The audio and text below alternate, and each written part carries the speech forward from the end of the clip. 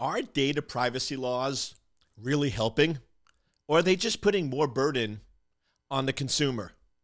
In the last few weeks, we've seen many countries, because of GDPR and other privacy regulations, start banning Google Analytics or not allowing certain aspects of Google to be able to be used with citizens in their country.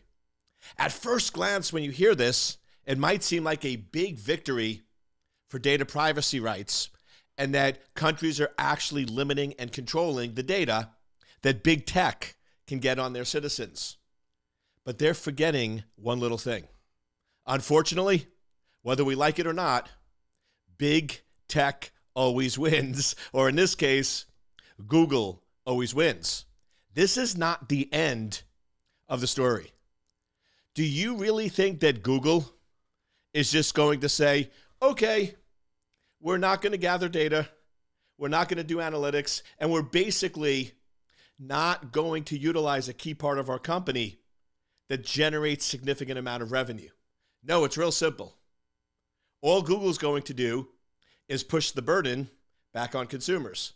So now if you're in those countries that initially banned Google Analytics, you now have to log in, fill out authorization forms, fill out consent forms, provide more information, and basically follow the regulation that states here's what a company has to do in order to follow the regulation. So Google's just going to push all that work back on consumers.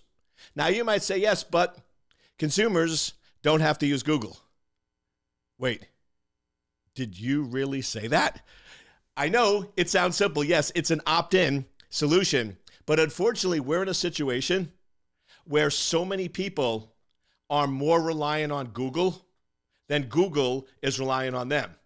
So while it sounds simple that we can just boycott Google or not use Google anymore, that unfortunately isn't the reality.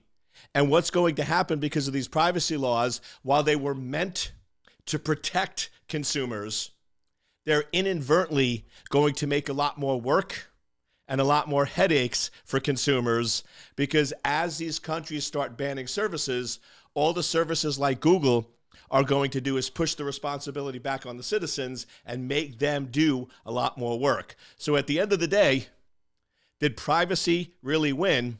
Or, once again, did Google win again?